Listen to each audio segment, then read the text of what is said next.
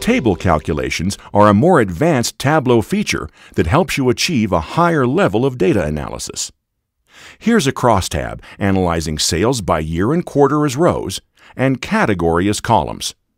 Total options have been chosen from the Analysis menu to include both row and column grand totals and year subtotals. The underlying data source is rolled up sales by year, quarter, and category. Tableau merely displays and formats the totals supplied by the data source. But what if you're a sales manager who wants to know in which quarter you achieve your annual $100,000 sales goal for each year category combination? Or maybe you're curious about what percentage of total sales are attributable to each category. You may want to see the quarterly total represented as 100%, with each category represented by percentages that add up to 100%. These are examples of table calculations. Calculations that Tableau performs after aggregated values have already been returned from the data source. There's a basic table calculation rule that will help you when you first start using table calculations. Always add a standard measure to your chart first, and then convert it to a table calculation. In this case, the standard measure, sum of sales, already exists on text on the marks card. To convert it to a table calculation, right-click on it or click the drop-down context arrow. There are two options of interest.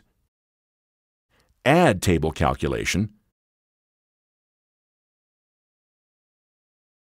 and quick table calculation. Quick table calculations are useful as the name implies, for quick, straightforward calculations such as percent of total. Notice the results the sales measure has changed from dollars to a percentage, with each category adding up to 100% appearing as the row total. And notice that the original measure now has a small delta or triangle on it. That indicates that the measure is now displaying as a table calculation, not the original sum of sales. To edit an existing table calculation, right-click on the measure with delta you may simply choose Edit Table Calculation to display a dialog box to make more detailed changes. Or just choose another Quick Table Calculation. Notice what happens if a running total table calculation is chosen. This is what's needed to determine in which quarter each product reached its $100,000 goal.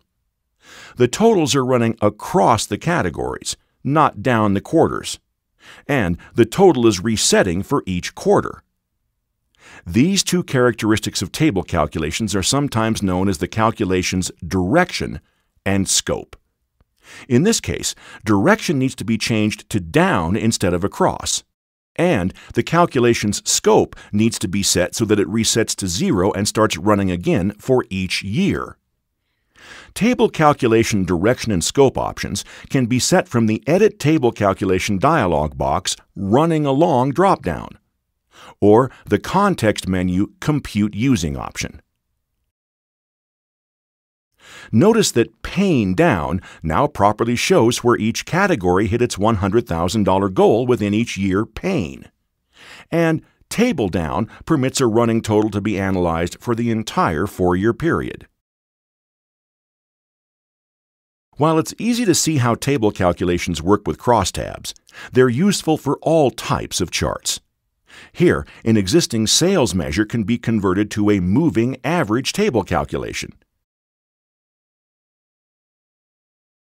Set to show a four-month average, and to only show values when at least four months' data have been collected. Now, the original sales measure can be dragged back onto the same axis to show actual sales compared to the four-month moving average. Table calculations sometimes result in the inclusion of null values on your chart. In this case, because the table calculation will show a null until at least four months of data have been averaged. If you understand the reason behind the nulls, you may just right-click on the null indicator and hide it. This Pareto chart requires what's sometimes called a two-pass table calculation.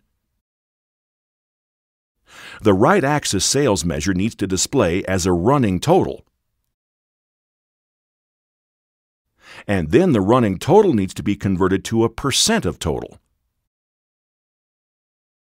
to analyze which categories make up 80% of overall running sales.